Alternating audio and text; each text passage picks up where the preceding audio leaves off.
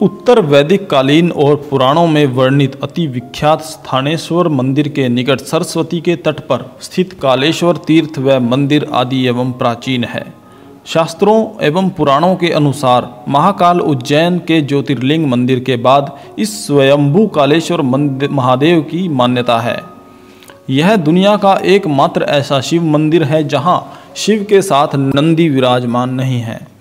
ऐसी मान्यता है कि महाप्रतापी रावण अपने उड़न खटोले में जब यहाँ से गुजरा तो उसका उड़न खटोला डगमगा गया। नीचे उतरकर महाप्रतापी रावण ने देखा कि स्थान पर एक तीर्थ है। रावण ने इस तीर्थ में स्नान किया और तपस्या पर बैठ गया। घोर तपस्या के बाद आकाशवाणी हुई और भगवान शिव ने प्रसन्न होकर रावण आशीर्वाद मांगने को कहा। मान्यता है कि रावण ने कहा कि जब आप मुझे आशीर्वाद दें तो उस आशीर्वाद का कोई साक्षी नहीं होना चाहिए। जिस पर भगवान शिव नंदी को छोड़कर महाप्रतापी रावण को दर्शन देने के लिए इस स्थान पर प्रकट हुए और आशीर्वाद मांगने को कहा। मान्यता अनुसार रावण ने काल पर विजय का आशीर्वाद मांगा था।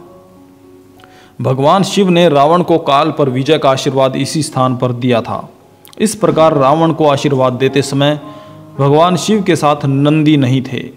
भगवान शिव इस स्थान पर स्वयंभू रूप से प्रकट हुए और रावण की इच्छा अनुसार नंदी को साथ लेकर नहीं आए।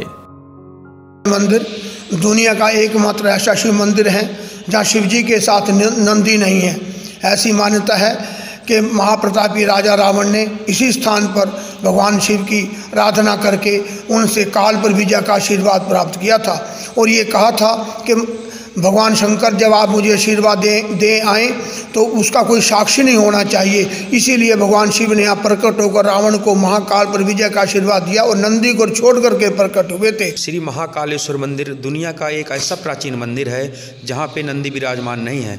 ऐसी मानता है कि महाप्रतापी रावण इसी मंदिर पे, यहीं इसी स्थान पे बैठ के और भोलेनाथ की पूजा करके, महाकाल से के दर्शन करके और अकाल मृत्यु पर विजय प्राप्त करने का आशीर्वाद मांगा था।